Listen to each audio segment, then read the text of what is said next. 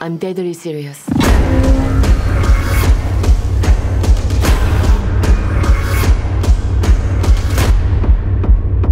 근데 지금 진짜로 이상한 게 뭔 것 같아.